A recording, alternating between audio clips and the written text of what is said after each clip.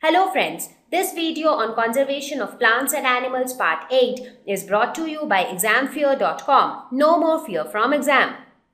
So let us now talk about biosphere reserves. Now as I had mentioned before that these are larger when compared to national park or wildlife sanctuaries. These are protected larger areas of natural habitat. So here on the picture you can see that the natural habitat of animals, a big area of land is protected and again here also you have the same restrictions like prohibition from hunting, poaching or deforestation. So all these things are not allowed in biosphere reserves as well. Now these are so big that they may include one or even more national parks and sanctuaries and they provide protection against protection to plants, wildlife, and also to human communities. Like you would have often seen that there are many tribal people who live within forest areas. So forest areas in the sense in a kind of biosphere reserve. So here these human communities are also allowed to inhabit in this region.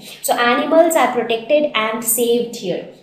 So they include other protected areas within it. Other protected areas could be national park or sanctuaries. So let us take one example. So here you can see Panchmari Valley which is there in uh, Madhya Pradesh. So in this Panchmari Valley, this is Panchmari Bio Reserve. In Panchmari Bio Reserve, the total area is very huge. So this is the total area. This much acres is the total area of Panchmari Bioreserve. So you can imagine how big it is. Now when we were talking about uh, national park, I told that it has to be minimum 1000 hectares. So now when you look at such a huge figure, you can imagine how big a biosphere reserve could be. And this Panchmari Bioreserve, it includes the Satpura National Park within it, so that is one thing within the uh, Panchmari Bioreserve. It also includes Bori Wildlife Sanctuary. So Bori Sanctuary is also a part of it. And it also includes Panchmari Sanctuary. So Panchmari Sanctuary is also a part of it. So these three things are included inside the Panchmari Biosphere Reserve. So here you can see another example of a biosphere reserve in Uttaranchal that is Nanda Devi Biosphere Reserve. So these are like huge stretches of land inside which you have multiple uh, national parks or sanctuaries and even some small areas which are inhabited by uh, tribal people. So now that we have discussed the various protected areas, let us talk about flora and fauna. What is flora and fauna? So the plants inhabiting a particular area is called flora and the animals inhabiting a particular area is called fauna.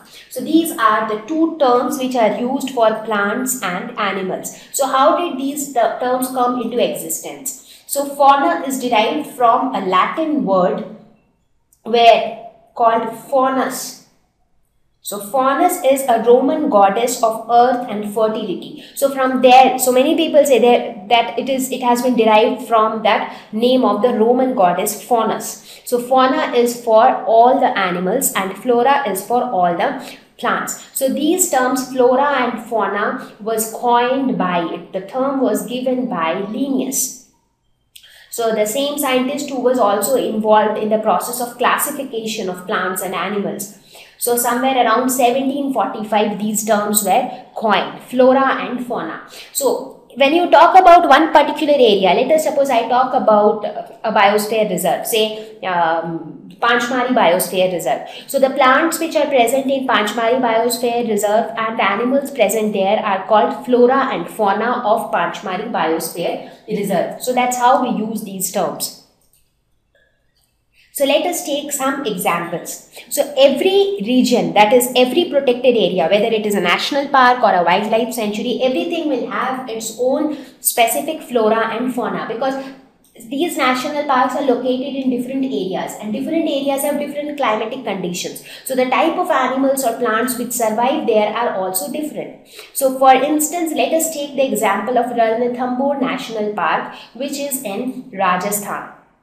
So if you talk about the flora and fauna of Ranthambore National Park, so talking about the flora.